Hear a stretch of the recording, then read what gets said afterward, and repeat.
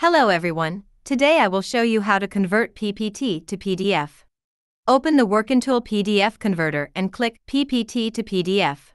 Upload PDF file by clicking Select PDF file or Drop Files. Click Add File to add more PDF files if needed. Change the save path as you want and then click Convert. You can enter our official website to download our PDF converter and other helpful software for free. Now, experience all kinds of fast office software for free.